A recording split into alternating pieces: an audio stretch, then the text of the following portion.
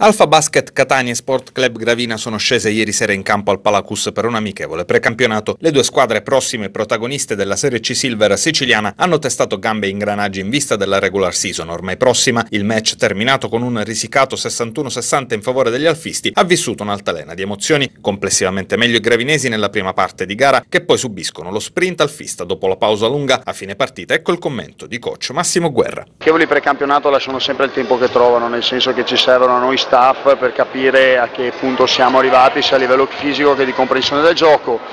Eh, diciamo che sotto quel punto di vista abbiamo fatto uh, sempre dei passi in avanti. Sicuramente eh, l'atteggiamento in campo dei primi due quarti non è stato positivo, poi invece abbiamo cambiato il nostro, eh, il nostro atteggiamento e questo invece è una cosa buona, nel senso che si vede che è una squadra a carattere che riesce anche nei momenti di difficoltà in questo momento qui a cambiare il trend quanto sta cominciando a somigliare a, a coach Guerra l'Alfa Basket? Beh, eh, in alcuni momenti, soprattutto nelle altre partite a livello difensivo, stiamo facendo molto molto bene.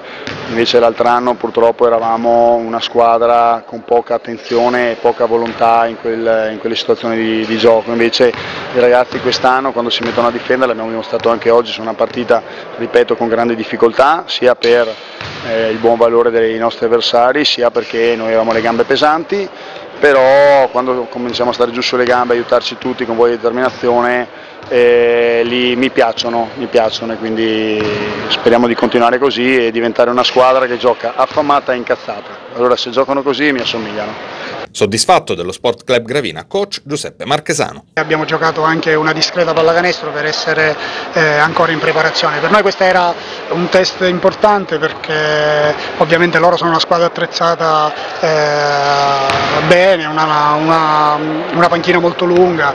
Eh, noi abbiamo tanti under eh, da cui ci aspettiamo quest'anno una, una, crescita. Eh, ovviamente ancora mancano due settimane, abbiamo da sistemare un po' di meccanismi soprattutto difensivi.